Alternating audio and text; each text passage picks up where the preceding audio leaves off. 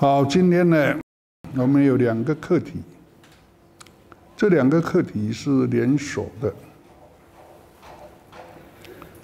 第一啊，我们可以说把小系系统。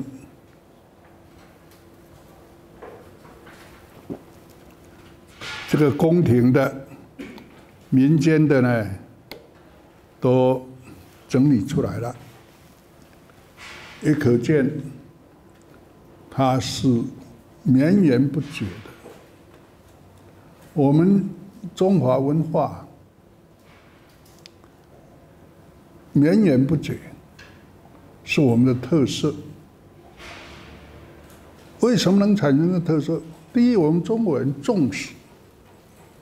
重视我们自己的历史的传承。你看，一个国家，皇帝有起居住，一天二十四小时，从起床到睡觉。说皇帝要干坏事，真的很难。如果史官这个时候，啊，你。任何的事情都记住、记下来，这是起居重。皇帝死了，就什么呢？就把它起居注编为实录。所以，比如说康熙皇帝就《康熙实录》，那又精简到正史里边。正史里边又根据这个做本纪，啊，本纪，比如说《史记》的《项羽本纪》，凡是称本纪，就是等帝王的一生的重要事迹的传。你看皇帝就这样，那民间呢，一个省。有这个省的通治，整个省省的地理呀，这个物产呐、古迹啊、人物啊、风俗啊，无所不写。然后府，省之下叫府，在以前省称道称路。然后就府治县治，所以好些啊，那个府治县制，我们中央研究院有一大套，你找不到的资料，那个再找不到，大概这个人就没什么名气到极点了啊。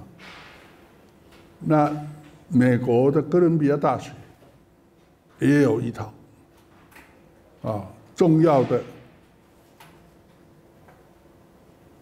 那么我们全国呢，有一统制，整个这个整个这个山川风物的技技术，啊，那对文化，对什么，就是这样绵延不绝下来。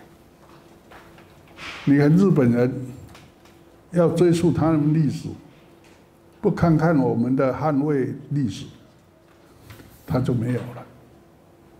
因为他那个时代还不知道，啊，我们周边的国家早期的都要如此，啊，由这个也可以可以看出我们文化本身的这个韧性、根源的连绵性，是一个民族的特色，而这个民族的特色，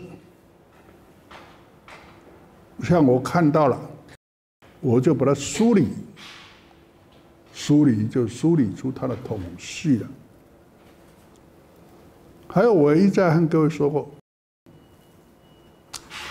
读书做学问，常常要知道，知其然，还要更怎么样？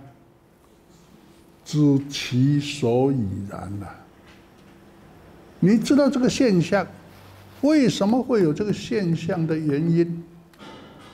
你如果不清楚，那你就不是真正的了解，你就不是真知。可是我发现太多的学者调查访问，把那些现象梳理的一清清楚楚。可是当我问他，说为什么你要研究这个对象叫这样的名称呢？比如说，才不去年吧，我对于上海的那个瘫黄啊的来龙去脉呢，我总觉得奇怪，这个瘫黄为什么叫瘫黄？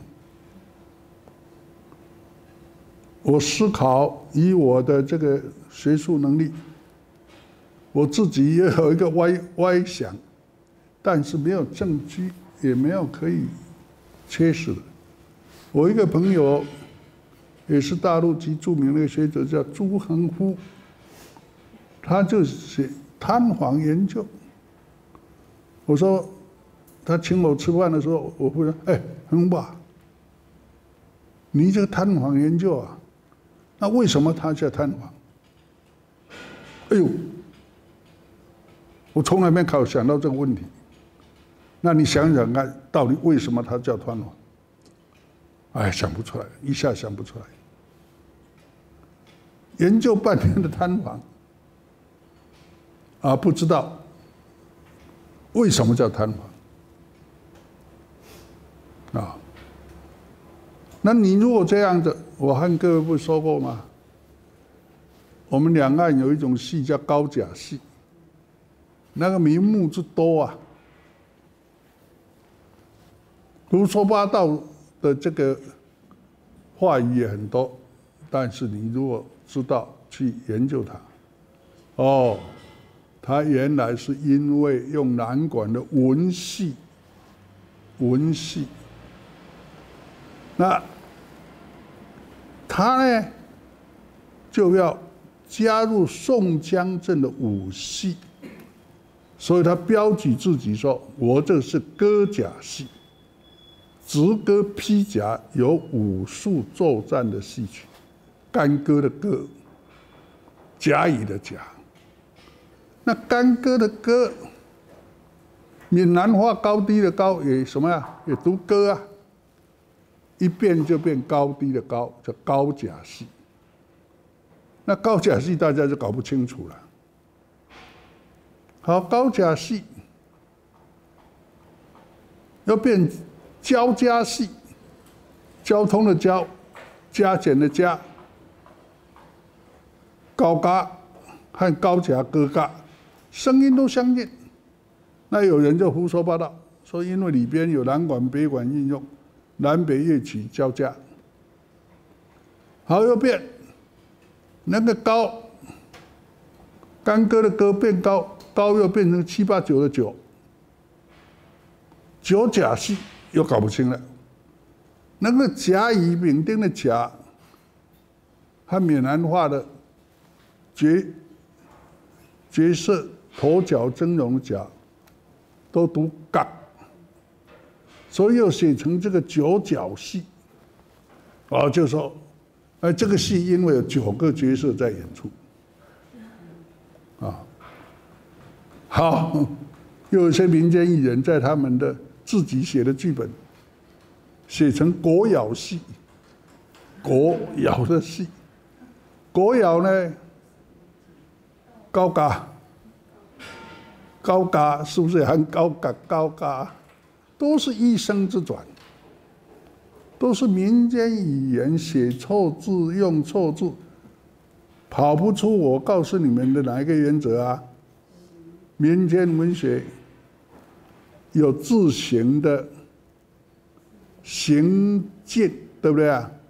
有字形的简体字省文，也有字音的音同、音近产生的讹变，这个基本原理。所以我们有了这个基本原理，可以解决了许多民间类似的相同的问题。我对弹簧呢，就也想用这样子，所以我想那个弹呐，会不会是弹词的弹？黄呢，应当写成竹字头的竹。说弹簧呢，是不是它有一种特殊的乐器呀？呃，为主奏，因为中国戏曲的剧种，梆子戏、丝弦戏，对不对啊？还有这个什么呢？还有这个弦索调，啊，还有这个。这个这个，呃，湖南的什么？不不，河南的雅璇最喜欢的叫什么？也叫不是帮什么弦呢？那个剧团团长还带我出去玩呢，一下想不出来。用乐器做名称的，是不是？弹簧呢也是这样，那这是一个假假说假想啊，因为到因为到现在没有人搞清楚，我不知道查过多少书啊，针对这些的都说都是都都没有一个连碰都不敢碰到这个问题，类似这些，所以我们知其然，更要知其所以然。好，那么这个在戏曲史的研究里边，我发现了，也和各位说过，我们小戏的时代长不长啊？非常的长，长到商周一直到唐代，这么漫长的岁月都是小戏的时代，它要发展成大戏。为什么要到宋元？从来没有人解决过这个问题。后来我想，从我们戏曲本身，这本身是什么呢？构成我们戏曲发展完成的戏曲的本身就有九大元素。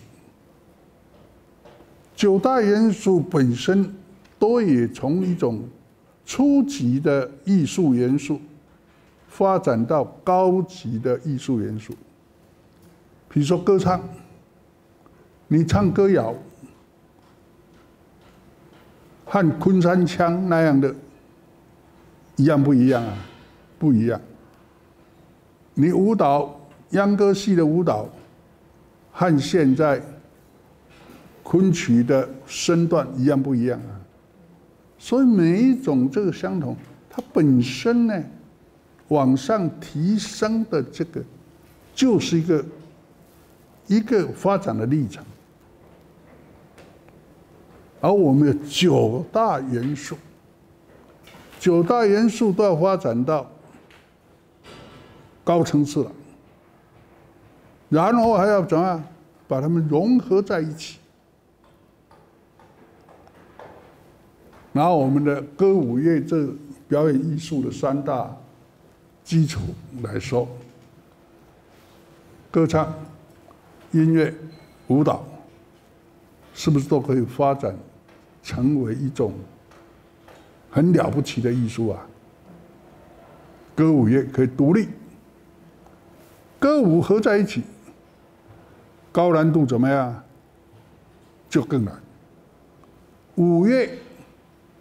歌乐同样的多，两者要磨合在一起，也是高难度。一个人生活，自己都会和自己打架，你的舌头啊、牙齿都会打架。夫妻在一起，两个不同的个体，说夫妻不吵架了，大概就接近要离婚了，啊。所以你应该夫妻，然后呢，一个家庭，有父母、兄弟、姐妹、妯娌等等这些群体的关系，要形成一个和乐的家庭，那又难上加难。我们这九大元素，岂不是像一个家庭一样的这些成分吗？好，家庭可以让你这样子的来成为和乐的家庭。他如果餐风饮宿，没有一个让你们这些家庭成员可以交流、磨合、体系彼此的这个照顾的那个空间，那一个可以。培养情感的场所，你永远达不成。这九个元素，如果没有一个酝酿的温床，让他们在里边彼此慢慢的磨合，歌舞乐好，歌乐舞乐。这个什么歌舞好，然后歌舞乐合在一起，然后歌舞乐杂技又合在一起了，歌舞乐杂技说唱又加入了，慢慢慢慢把它汇聚在一起，那要两个基本，要三个基本条件，一个要不要空间呢？要空间让你磨，第二要不要时间浸润完成了？第三要不要我们说化学的催化剂呀？那就是一种推手。当我想到这一些，豁然开朗，哦，这个。宋元以后，宋代以后啊，整个社会啊，生活啊，变迁，在唐代以前，都是怎么样？晚上八九点宵禁，宵禁以后还能不能够民间娱乐啊，或者是什么夜生活这些啊？啊，这些这个艺术生活就绝对进入不了生活。哎，宋代以后，由于这个什么呢？方向制，各位知道都城建设的方向是，知道不知道？就是一个都会区，化成井字形的街道啊，那井字形就会产生许多的怎么样？方块，那每一个方块就是等于一个社区，所以叫方。啊，这个方呢，井字形本身就向有有接接向，所以叫方向字。你住在哪哪一种方，哪个方，叫什么里？如果单人叫什么里，那就会有里门。这个方式。是是空间关闭的，进出就是个里门。这个里门呢，到晚上，那是我们现在的八九点吧，就关了，百姓不能出去了，只有元宵不关，通宵达旦。所以呢，当所有的首都的防卫司令，在汉道叫执金吾，明清两代叫步兵统领，管都城的九个大门的安全，就叫九门提督。我不是自己写了一篇文章，把自己册封为台大六门提督吗？因为我们台大有六个大门呢，可以进出车辆。我每天清晨就骑着脚踏车，一个大门一个大门巡视，多一圈正好一个小时。你们不要小看哦，我台大的那个 A 林大道，咻咻来往两趟，然后这样绕，绕完正好一个小时。以前我是这样运动，然后看到了清晨的台大，哇，琳琅满目，各式各样的早晨运动的人，啊，尤其那些带狗的人啊，狗朋友啊，哇，呃，狗有狗的这个交 狗朋友，我把那一段写的，大家都哈哈大笑，那个情景，所以我写了一篇散文呐。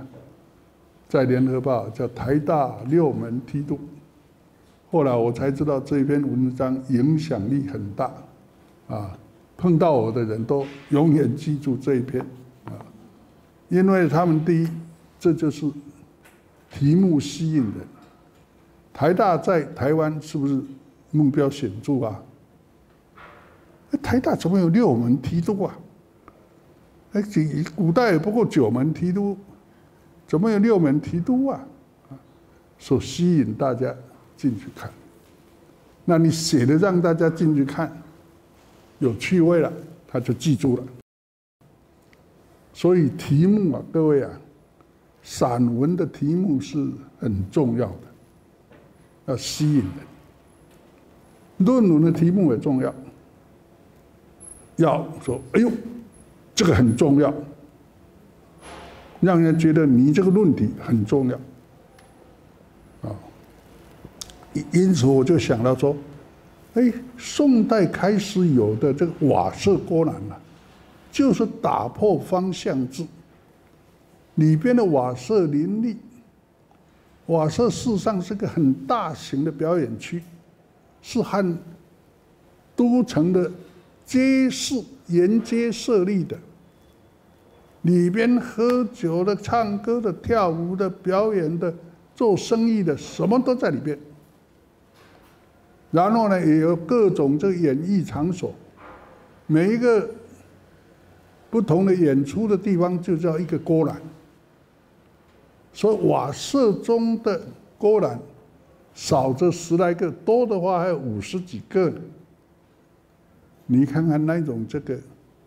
影响社会生活之大，可是因为他是在民间，所注意到他的人不多，不多，所以我才写了这一篇。各位看看，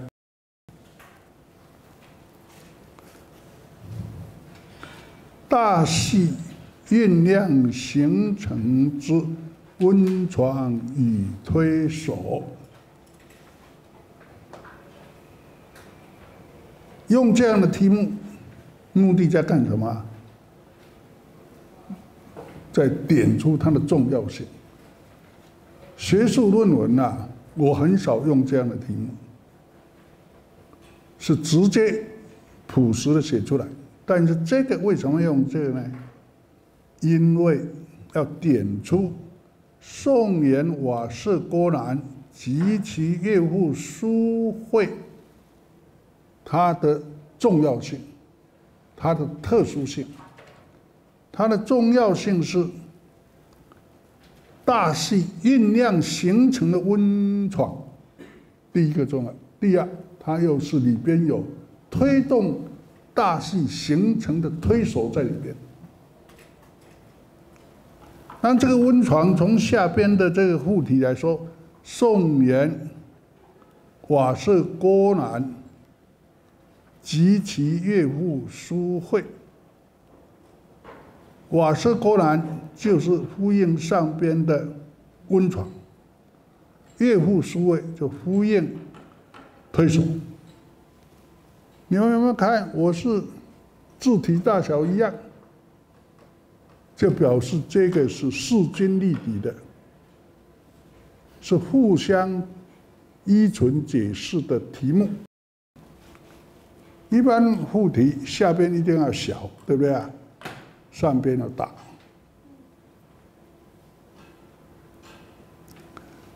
那么这一篇文章，佩轩，你把目录念一下。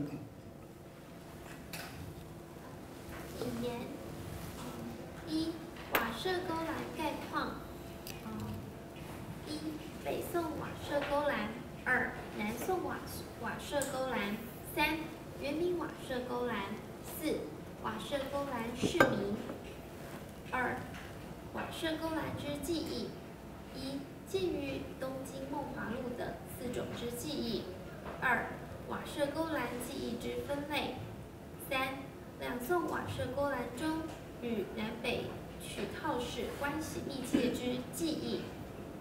第三章瓦舍勾栏中之乐户：一、唐代以前之乐户；二、两宋之乐户；三、元明之乐户。第四章瓦舍勾栏之书会：一、宋元之书会；二、欧阳光之书会别解；三、书会才人与乐户幽灵之关系，皆语。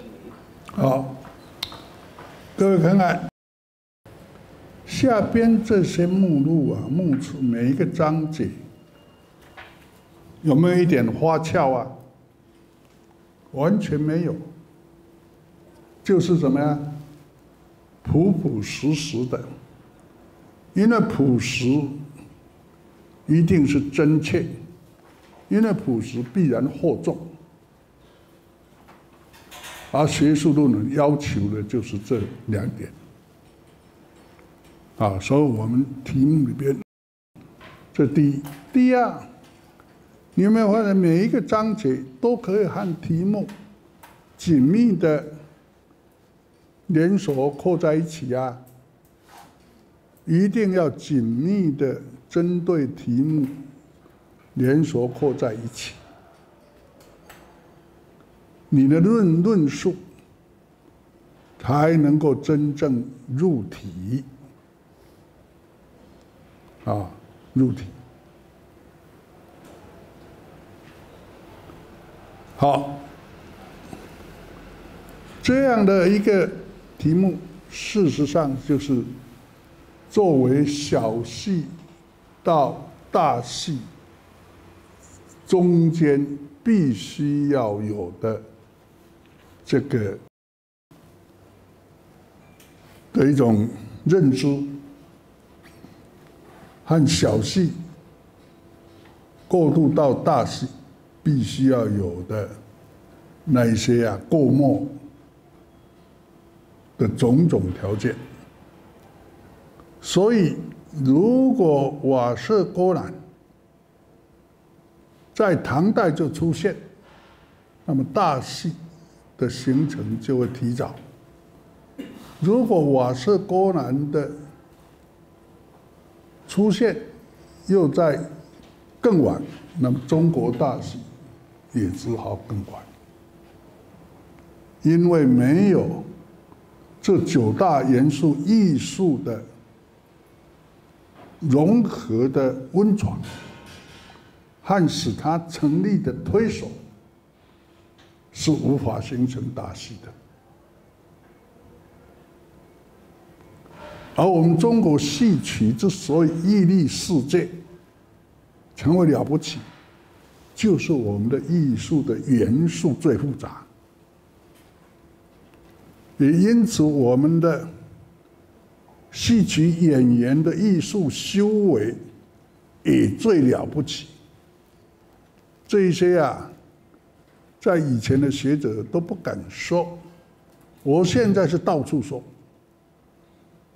在大陆固然说，我在国外照样说，因为只有我们能够这样子。好，那么引言当然各位都知道要倒引进入这个论题的，那这个郭兰。从北宋开始有了，一直到元明，也就是说清代以后，这个郭兰瓦舍郭兰就怎么样啊？就没了啊。那这个乐府呢？瓦舍郭兰里边他的表演艺术的内涵到底有哪一些啊？各位研究这个宋元，尤其宋代啊的民间的生活、民间的艺术文化，最重要的四本书，就是我写的《东京梦华录》等四种之记。这四种书，《东京梦华录》，还有梦呃这个这个这个什么啊，呃《西湖老人还圣录》，《梦梦良路》，《武林旧事》，这四个书是极重要的，啊，研究宋代的艺术文化、民间生活习俗。这四个书一定要知道，从这个书里边把它找出他所描写到的记忆，这是最直接的资料。那这些这些记记忆呢，应当要给它分类啊，分类研究。这些记忆里边和南北戏曲。有密切关系的记忆是不是更重要啊？所以一步一步呢，把这些记忆、这些记忆啊加起来啊，有六十几种，啊，有六十几种，可以说啊，名目经繁多。好，所以这个这篇瓦舍郭兰呐。第一，把它提出来，和戏曲史有这样密切关系的重要性的，是我们这个书啊，好，培训啊，你把那个前言念一遍啊。个人常年研究中国戏曲史，一直以为，如果没有宋元的瓦舍勾栏和乐户书会，那么作为中国戏曲长江大河的南戏北剧，就不知要晚到什么时候才能真正成立，因为没有孕育的温床。哪能将构成南戏北剧的重要因素，使之有安稳结合而茁壮的地方？没有调试促成的推手，哪能顺利形成而使之向上发展？而我认为，作为南戏北剧孕育的温床，就是宋元的广社勾栏，而促使之成立发展的推手，就是。国乐瓦舍勾栏中的乐户和书会，因之在论南戏北剧两大剧种原生形成之前，必须探明宋元之瓦舍勾栏及其中之乐虎书会。而宋元之所以瓦舍勾栏兴盛，其关键乃在于都城方式的解体，代之而起的是街市制的建立。唐代都城建筑。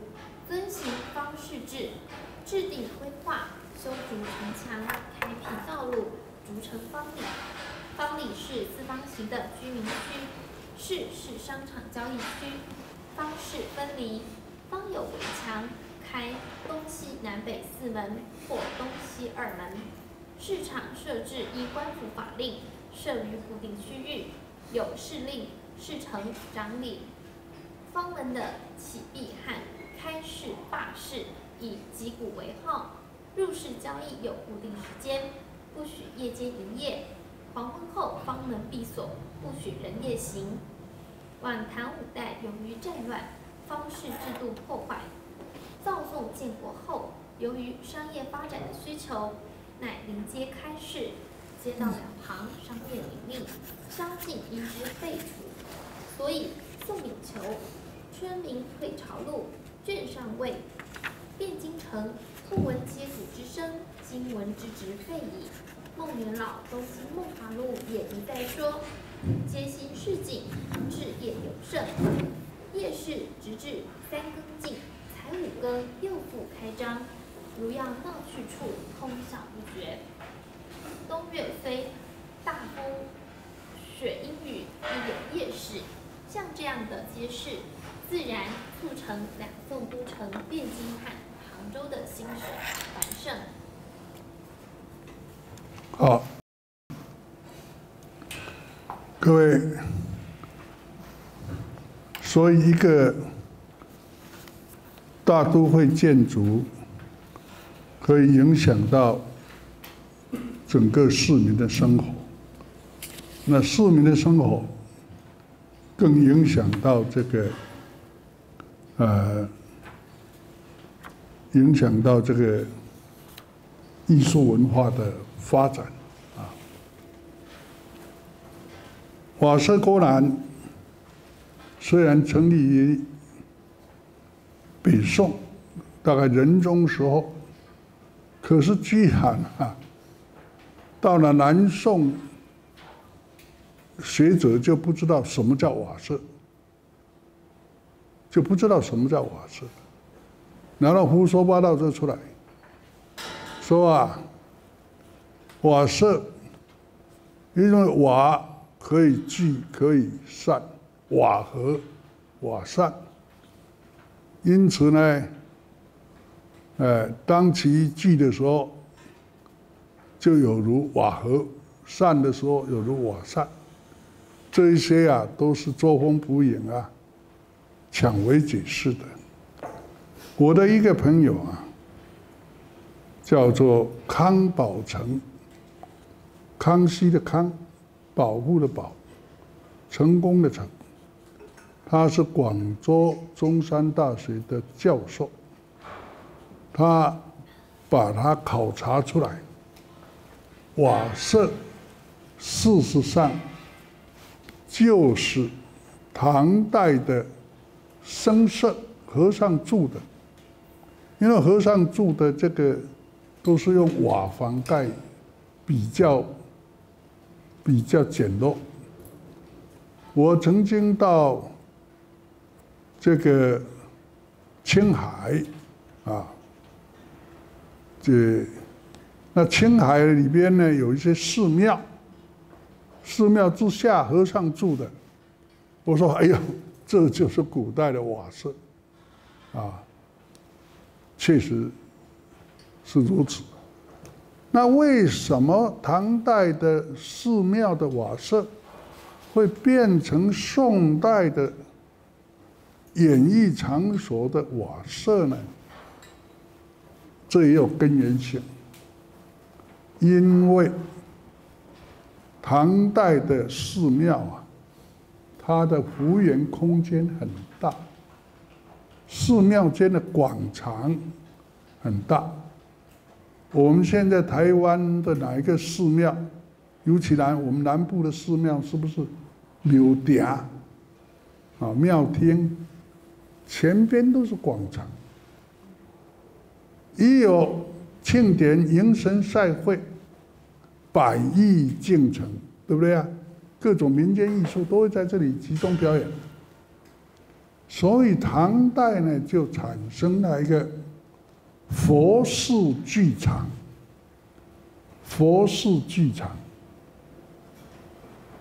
你比如说，在洛阳，呃，在开封，我说错了，在开封有个相国寺，现在还在。那个相国寺在北宋的时候，就是寺庙，呃，这个佛寺剧场所在地。什么公主啊，什么什么都会去那边看戏演出的，所以唐代的寺庙剧场转到宋代，它就形形成了瓦舍勾栏。勾栏呢，我记得跟各位说过，不知道你们还记得吗？你们只要去看敦煌敦煌壁画。敦煌壁画里边，佛菩萨也和人一样啊，要不要娱乐啊？也要娱乐啊。找谁来娱乐？天女呀，跳舞啊，歌舞。你看那些天女在歌舞的的那个场所都是怎么样？铺一块跳舞的区域。这个就是我们后来所谓瞿书奇书会不会写？啊？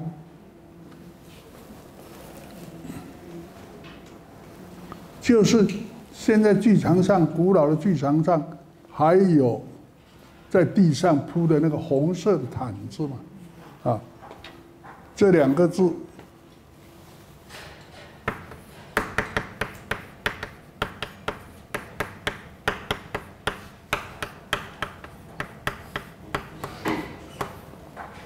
块毯子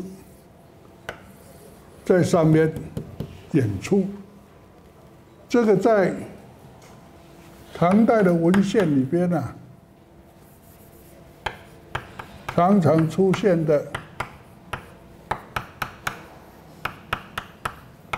五言，常叫五言啊。在这个五言的上面呢，有一些小小竹竹栏杆，四周都一样。然后用绳子把它勾连起来。那么这个勾栏的连杆、栏杆、勾栏的连杆，这一些就叫勾栏。啊，四周的这个勾的这连杆就是勾栏。这个整体的表演区也叫郭兰。那郭兰。后来变成舞台，剧场舞台也叫郭兰。其实根源就这样来的。所以，中国文化要探索啊，就从前代追溯就好。我把那个生旦净末丑，大家搞不清楚的。戏曲的人生一个很关键的时代是什么？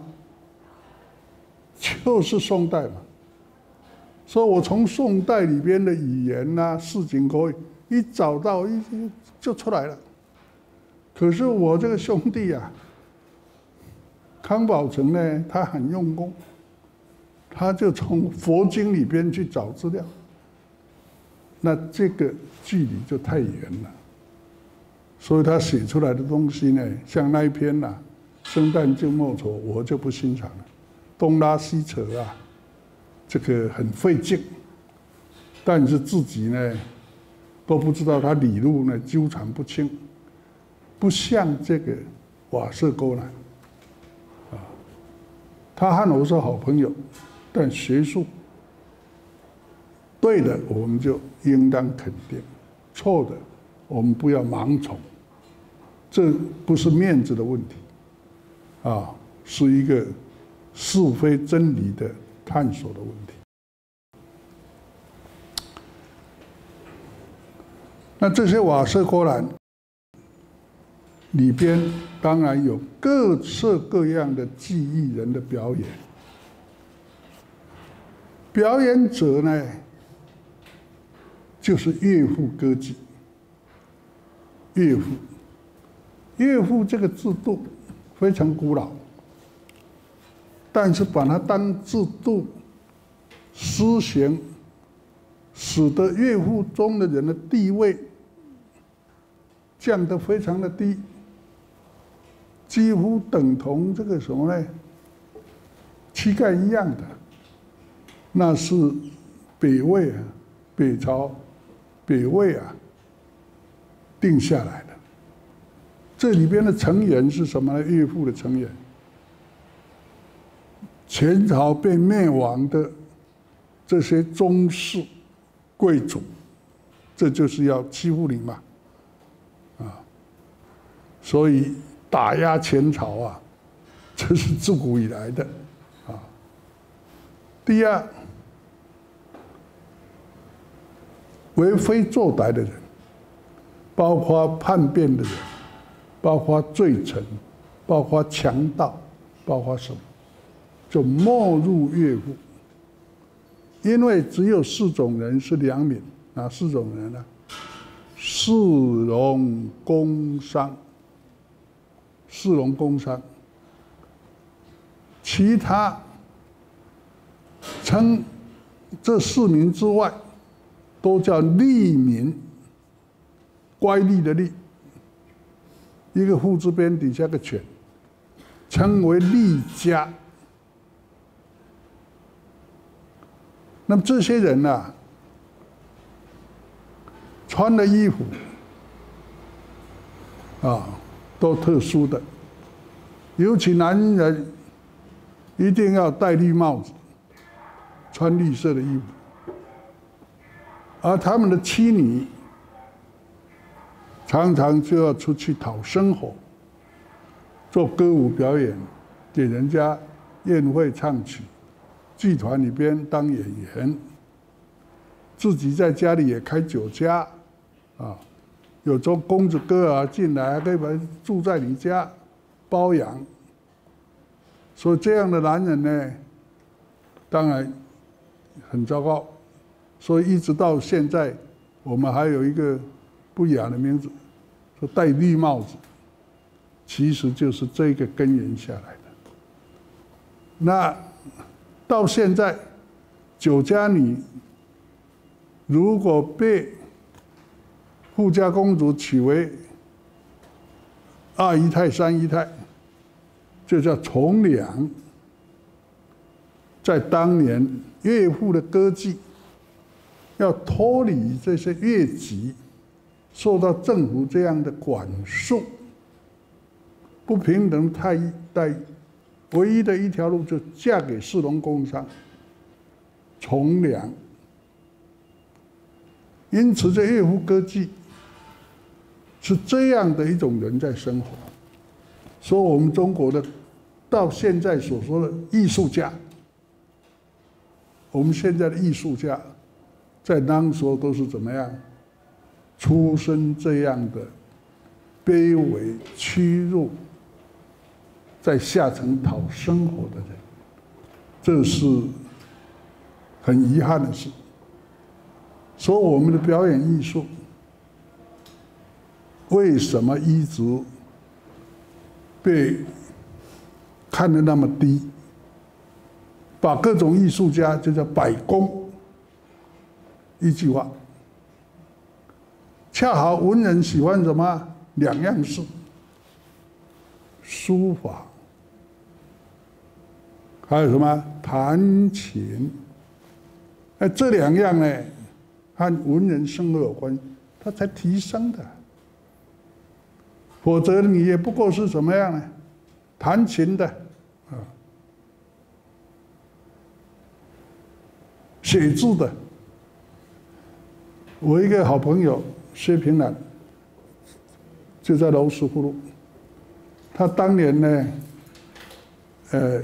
国家文艺奖，然后记者访问他说：“你的，你你他因为篆刻写毛笔，记者就问他说：你在台大门口有没有摆摊子啊？啊，还是旧观念啊？以为他刻印的，其实他是雕刻家，他是书法家。”这古今呢，这不一样。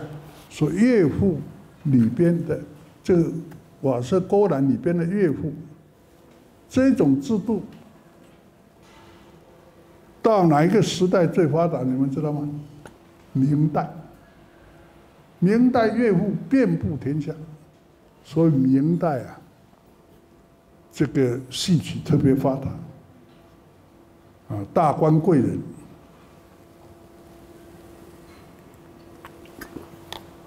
官府宴会，岳父歌妓就要来伺候，就是宴官生，来伺候表演唱歌，没给钱的，这是你的任务啊。后来呢，因为实在不像话，太盛了，就在宣宗宣德二年。有一位左都御史，各位知道御史上边有御史中丞，然后右都御史、左都御史。御史是分省的。拿我们现在来说，是哪一省的监察委员？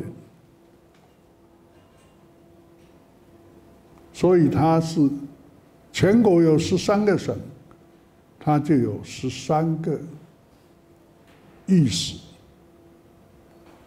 这个御史的品级不高，权力很大。你们会不会觉得奇怪啊？为什么呢？因为御史都年轻人在干，年轻人还没有在政治的污染缸里边，由他们去干，才可以打击这些，因为他权力大。可是左都御史就是等于现在的监察院长，那就一品官了，啊，一品官。那个左都御史叫顾左，啊，左右分左右。各位读中国书很麻烦，有的时代是上左，就是以左为上；有时候是上右，就右为上。以左为上，右就负的；以右为上，左就是怎么样为负的。啊，像这个汉代好像上左，汉代先秦都上左，所以一个车子主位是叫车左，车右是保护车左的人，因此刘邦的车。刘邦的车右是谁啊？樊哙。樊哙是谁啊？他的连襟就是吕雉。刘邦的太太吕雉的妹妹的丈夫，所以以他为车右。你们知道？有一个是这个汉代啊，汉宣帝是谁把他扶上来的？啊，霍光，因为汉武帝的太子魏太子不是五谷之乱被杀了吗？啊，你看这个，这个一个一个皇帝到老年了，到老年最越越怕什么呀？他的地位被被抢走，所以有一些人就利用他这种又老又怕失掉的心理，发动了骨肉相残，使得魏太子非保卫自己不行。结果魏太子全家被抄，只有逃掉哪一个人？他的儿子，后来的儿子就是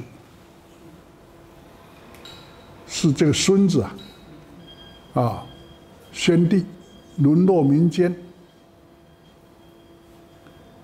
沦落民间被霍光，因为那时候昌邑王继位。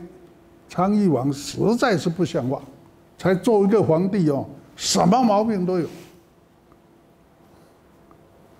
霍光把他 把皇帝免职了，把这个汉宣帝找来。可是呢，他觉得你的地位是我给你的啊，就常常呢要教导他，因为他年纪大。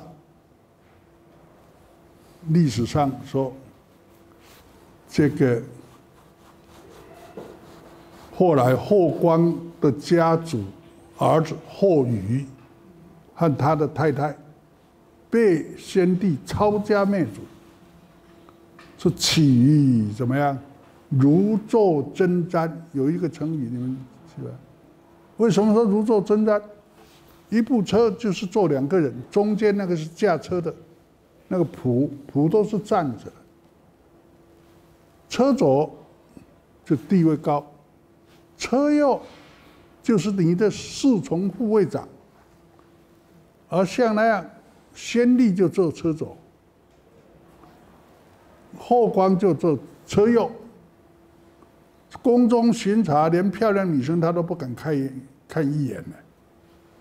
他觉得什么呢？有霍光在身边呢，如坐针毡。霍光死了，就怎么样？大开杀戒。这种历史历历历朝历代的这个这种现象是都如你卯的啊！哎，怎么扯到这里来？我教书有时候啊，东拉西扯。啊，现在是在讲什么？哦，顾总，所以他是左都御史，他才是这个，他就上那个作者说啊，这个现在群臣呢，生活太糜烂了，禁用乐府歌妓，也就是说官员。不可以再用歌妓来诱酒，来赐会这个这个什么？好，官员习惯这些啦，没有这个漂亮的女生在旁边给你倒酒、唱歌、跳舞，很不习惯呐。尤其明代的社会风气啊，你们要知道，只要官宦人家的公子哥。没有不是裘马风华，没有不选歌争技，以为风雅，这整个社会的这个这个习性是这样子，说改不了的。因此呢，就慢慢有人想出了一招，把那个小男生，那小男生呢？把他装扮成女生，就在娈童装旦，娈会不会写啊？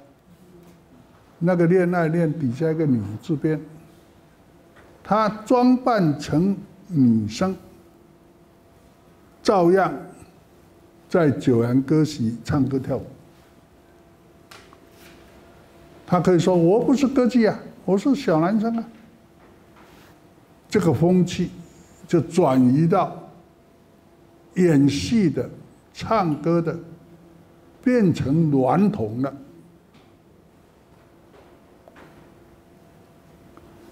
那么这些娈童呢，扮相是不是像姑娘啊？因此叫像姑，像姑娘，像姑娘一走音走歪了，又读成什么？相公，你们知道为什么演戏的是相公吗？男扮女装的叫相公，就是这么来的。梅兰芳都做过相公啊，啊，所以他也有一点屈辱的日子，还没有发达的时候。那个相公窑子啊，到晚清都还有，晚清民初都还有。就可以到这个大演员养了一些小徒弟，在那边一样的大官贵人喝酒。我们南管戏里边有七子班，对不对啊？那七子班为什么用娈童在演呢？就是这个风气下来啊。所以，乐府歌妓到明代啊，盛极，又转入了什么呀？娈童装旦。清代有一个社会小说《品花宝鉴》，各位知道《品花宝鉴》的花是什么？就是这些相公，娈童相公。那时候的文人无聊到极点，把这一些小男生啊，像选美一样，一个个品评点了，都有这个，都有书传下来，还甚至于把这段选美大会啊，还分第一甲，哪一个是第一甲的状元，就是花魁，懂了没有？我们说花魁你是怎么来的啊？就是这些无聊文人干出来的。第二名榜眼，第三，那选上花魁，那生意多好啊！所以乐府歌剧啊，影响中国很大。到什么时候才没有呢？到雍正年间，清代雍正下令禁止。可是它的残存，一直到多少年前，在山西，他还有他的后裔在。这是岳父的后裔。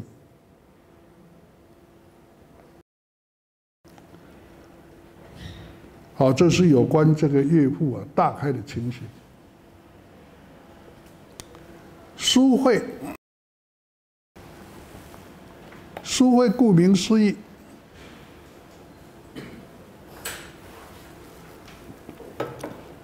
你们有没有读书会啊？现在都还有啊，有一些。那早期的时候，也都有读书会啊，由读书会发展出啊一些呃角色啊。你比如说我们中文系，呃，我们有一位老师彭毅老师，他每个礼拜二。就好些他的老学生，在各大学教书的，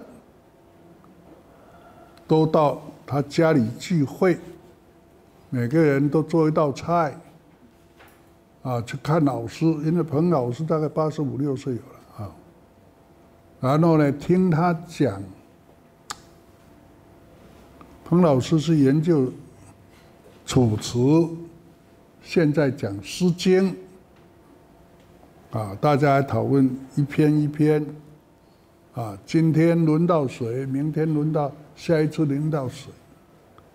这样的一种读书会的聚会，所以书会本来也是在古代啊，文人呢一种雅集，在这个书会里边做做诗啊，啊，读读书啊。因为在古代的这个学校制度，县有县学，对不对啊？府有府学，可是能进到府学、县学的人多不多啊？不多啊。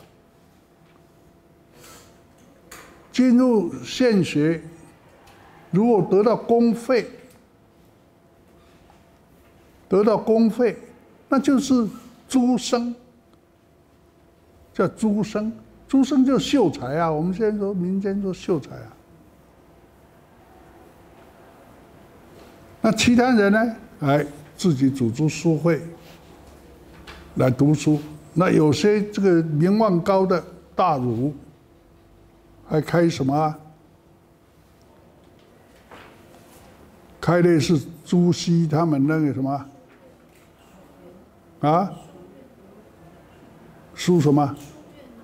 书院对了，像朱熹啊，这一些大儒啊，啊，历朝历代都，呃，不不，就在宋代以后，有时候书院，都是可以民间的这组织。那书会里边照样可以去考科，呃，有人也可以这个，呃，就走上科举这个之路。可是书会里边呢，又产生一种现象，就是老考不取的人，啊，落拓的这些秀才，他们组织起来，变成一种什么职业创作班，哎，职业创作这个什么一样，你要收藏艺术家，我就编收藏本子给你去查，去收藏。你要演出，我就编剧本给你唱；你要歌唱，我就编曲子给你唱；你要猜谜语，啊，我就制作谜语给你们去猜。就这一种啊，卖文为生，这个也叫书会。那么这个书会呢，他自己称书会才人。老百姓称他为书会先生，啊，有这样的这个情形，这是第二种类型。我们讲义里边有一段说，各位看那个目录，最下边，欧阳光之书会别解。欧阳光也是中山大学的广州中山大学的教授，当过系主任，呃，和我也很熟啊，曾经陪过我啊，到探索当年这个我们苏东坡如何贬到。黄州，啊，啊，不是不是了，惠州，啊，如何贬到惠州？经过大庾岭，呃的那个那个那个那个大庾岭的山口，下边两旁呢是有梅花啊巷道，呃，一些人带我去，还去那边的一所大学讲演。他呢写了一篇文章，说苏会。现在在河南的哪一个地方？这里边都写的清清楚，自己看。每一年的什么时间，都有好几百个各地方聚会在一起的一种表演艺术团体，在那边大展演。这种情形就像我在民国七十二年到七十五年。在我们青年公园所办的民间剧场，一样汇聚各地的表演艺术，写得热热闹闹。而这个历史有七百多年，他们的自称书会，因为他去实际调查，得个调查报告，啊，我认为。这个也是书会的另外一个名称，它延伸出来的，但不能拿这个名称来否定我们刚才说的两种书会的意义。一种读书会，一种是什么卖文的书会，是三个可以并存的。欧阳光是要把拿他这个来否定原来的。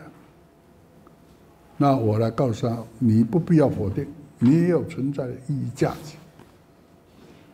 早期学者所认定，证据也非常的确凿，也不能够因为你这一篇文章就被这个推翻，啊，是特别把它举出来。好，各位，我们来看最后的。结语，可以先把它念起来。总结以上，宋元之瓦舍公栏论其名义，所谓瓦舍，本意为瓦屋之屋舍，因汉译佛经而有僧舍之意，进而为佛寺之名。又由于北魏之后，佛寺戏戏场兴起，至北宋佛寺即为戏场，又名瓦舍。其汴京相国寺可以为证，又以北宋时唐代以前之方士制一毁，改为监视制，瓦舍亦或由佛寺而广布监视之中，乃成为庶民游赏之所，百亿荟萃之地。瓦舍中之勾栏本本为栏杆之意，亦因佛经中所描述之天宫净土极乐世界之歌舞演艺场所，皆在勾栏之中，因以之为歌舞等演出场所之名。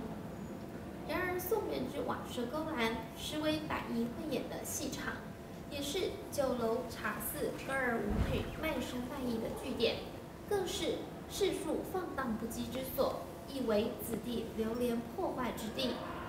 两宋勾栏瓦舍中记忆，见于以下四书者：东京梦华录二十七种，都城纪胜近百种，繁盛录二十七种，武林旧事六十种。可分类为乐舞十八种，歌唱八种，杂技六十九种，说唱二十种，戏曲杂剧一种，偶剧八种，总计一百二十四种。哦，其数目之多，历代文献所仅见。